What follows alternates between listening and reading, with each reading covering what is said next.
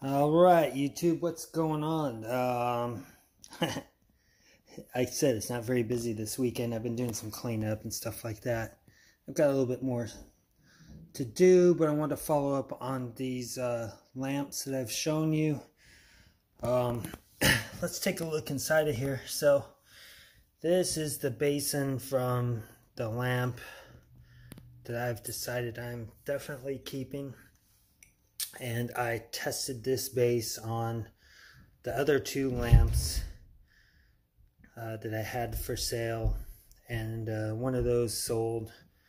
Um, but let's take a look at the byproducts. So I still have some good um, carbide um, rocks inside of there, calcium carbide. Um, you see the byproduct is lime, so that's what all that kind of yellowish, whitish uh, powder inside of there is. Um, I'm going to cover this thing up. And I'm going to test this thing again. So I, I did reference it. Supposedly they use these lamps as well uh, as heaters as well as lanterns. Um, so there's a couple things. What I'm trying to show you is this lantern that I'm keeping. It's not sealing 100%. I don't really want to crank on this this dial too much. Um, but there's a very small leak in there. So for me, that means that there's something wrong with this screw that is on this thing and it's not completely stopping that water from dripping. Although it is much slower than before, but now you see it's still creeping. So, um, part of this reason I'm going to do this is I just want to see if I'm able to use the rest of the rocks that are in here. I use about one third of a 16 ounce container to put these at about one half full. And because I noticed that maybe there might be a little leak um, it's not good to store this stuff where there's moisture. So I'd rather just burn this stuff up and use the unused that's all sealed up use it at a later time. So, um, I was kind of in a rush the last time because I really didn't want to mess around with these uh, lamps that I was thinking I may sell. Um, I have an extra one of these and if it doesn't sell, doesn't hurt me because, uh, you know, I'll keep it and use it or I may give it to my son's uh, Scoutmaster or someone else that thinks this stuff is cool. Um, but let's turn on the water even more. So this, this dial does work. So it does increase when I let this stuff go. And let that water drip even more. Now, the key thing is you got to wait 60 to 120 um, seconds, you know, one minute, two minutes for that um, acetylene gas inside of there to give enough pressure to come up through the valve. So let's wait for that. Um, this is very unscientific, but I'm going to show you. Here is a temporal. Ooh, that's telling me my battery's too low. Let's see if I can get a ambient reading around here anyway. Nope, it's too low.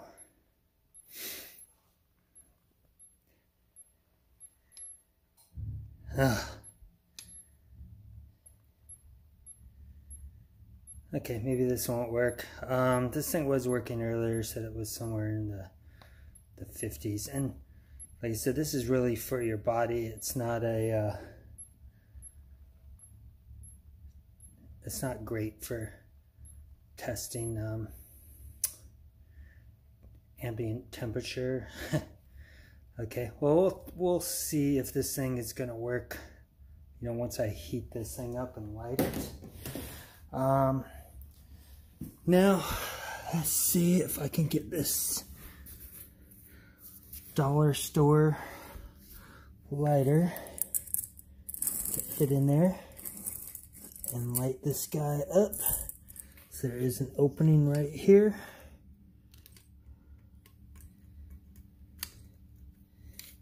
I can't see anything right now, obviously. Alright, so I did it. So let's light it up.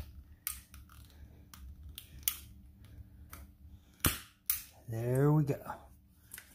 Um, so you can adjust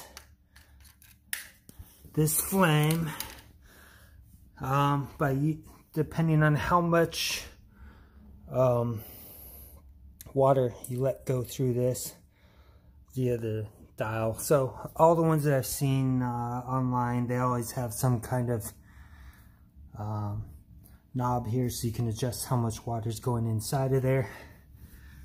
But let's take a look at this. So that's pretty bright. Um, yeah, I, I don't know. To me, it's pretty cool. Some of you guys are probably just yawning right now. Um, you can watch golf or you can watch me take a nap. That's what I do when I watch golf. But let's see. Yeah, so see this thing. Ooh, man, that thing's hot to the touch right now.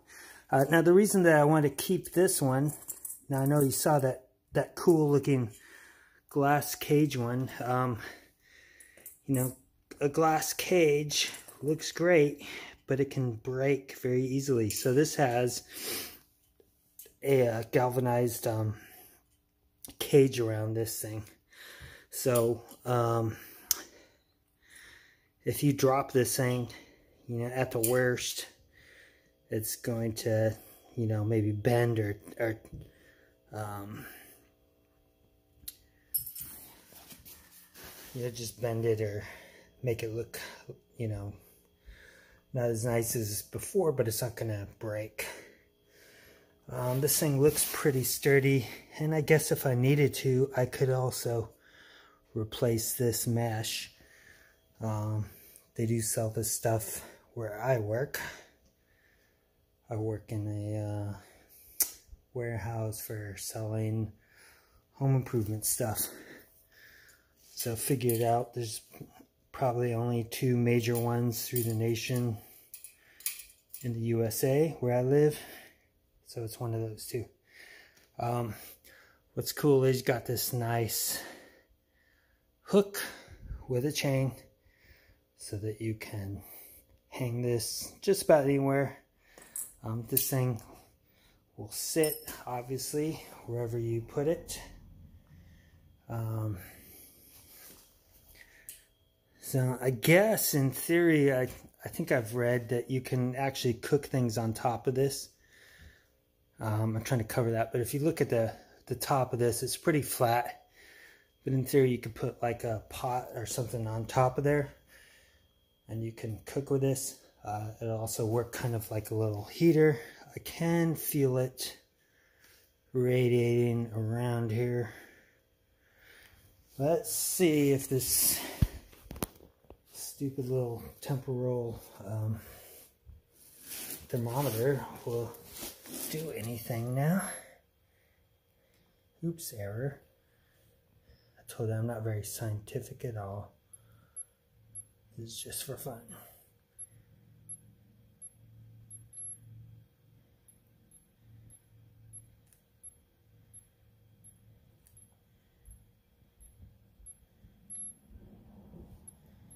Uh, so I think it's just I need to replace the batteries. This thing uses a 9 volt battery in here, which to me, I don't really like. Uh,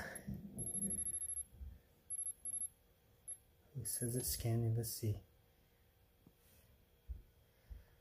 Eh, low battery. This is no good. Error, error, error. Oh, I'm just wasting your time because it's fun for me.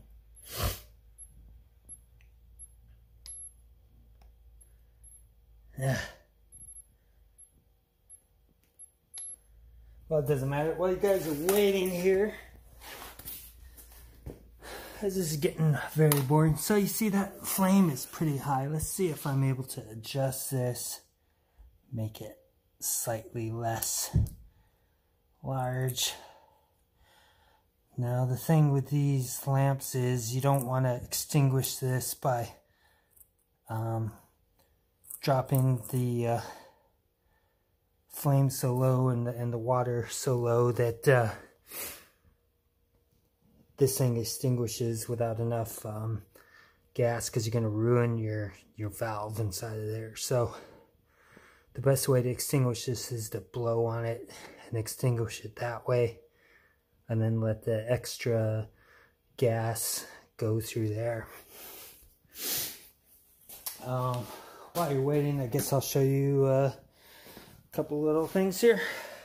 So this is a Swedish um, mess kit um, utensil set. So you can see here I've got a spoon, a fork, and a knife. It's got the three crowns on there. Now what's interesting about this one, this one is actually made in Norway. Um, I have another set, I'm not sure where it's at. I've got too many hiding places my wife doesn't see, but uh, there is one that's made in Sweden as well. They look exactly the same except for this little stamp on there. And uh, yeah, this thing is kind of large. So I mean, if you're, you're thinking of lightweight stuff, you probably don't want to take this. This is great for uh, car camping or if you don't carry about weight. It's got these little holder inside of here. See these uh, folded um, I don't know what you call them, but anyway, it helps retain this, and then you can take out the fork and the um, knife. I can't do it with one hand. Going to put this thing back in. But, uh, you know, I like this, this set. It's just tableware, so, you know, it might be stainless. I'm not sure. I haven't exposed it outside. Um, usually I'm just using a spork or something like that. But this is kind of cool to keep around just in case I want some uh, utensils or something like that. Another little thing that I showed you before is this is, you know, the official Swedish can opener. Now, I'm not sure if this one's made out of stainless steel, but it does have a different um, tinge than, say, the uh, all the American ones, which I know are made out of uh, regular steel because they rust like crazy. I've got a couple of the old ones around. Um, it works just like the other ones, and it also folds. Blah blah blah little stuff. Uh, so let's take a look at this guy. Now um, I can see why you would use this as, as a heater in a small room or something like that. Um, now this flame will obviously burn um, oxygen but the byproduct of burning acetylene is just going to be carbon dioxide, not carbon monoxide like an en engine, but uh, carbon dioxide. Um, and it will use the uh, oxygen in the, a small confined area, but uh, you can use this as a little heater if you're outside camping or you're picnicking or something like that. Um, I don't know what else to say, guys. I appreciate you guys watching. If you have some kind of questions or something like that, please post them on there. I'll try to answer as soon as I can. And I may or may not just show you that those rocks underneath have all turned into lime. I doubt I will. It's kind of boring, right? But uh, just wanted to show you some of the operation of this thing and some of the uses you can use. Thanks again.